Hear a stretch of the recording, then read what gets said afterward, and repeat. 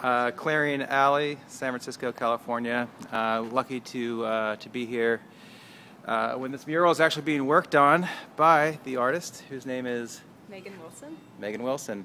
Uh, Megan, this is beautiful. Um, I saw it the other day, and I'm glad to to have been able to catch you. Um, quick question. Uh, you know, the message is pretty pretty evident. Um, but as an artist, I kind of wonder how it. What's your perspective when when you have somebody that comes up and kind of steps on your on your work, so to speak? What's what's your what's your kind of point of view on that? It's part of the nature of working on the street. it happens all the time, and I you somewhat expect it. Um, I know you have to be vigilant about coming and repairing them because it is the street, it is open space. Far as this tag goes, in some ways it was really respectful because it was done in an area where I could easily fix it. So, and that was that was clearly a choice that they made.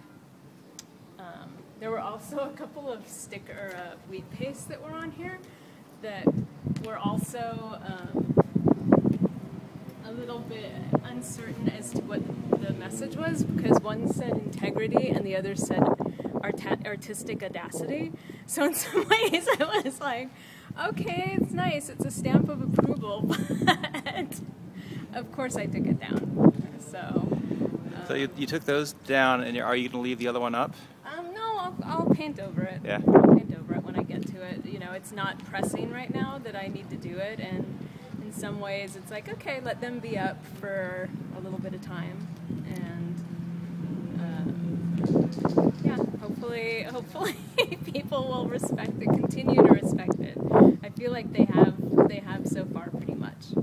Fantastic. Thank you very much for taking the uh, few minutes to talk. Yeah. Uh, it's absolutely beautiful. Let's get a really uh, Christopher Smith. Let's get a, a good view here. There we are. Clarion Alley, San Francisco, California. It's a hell of a day.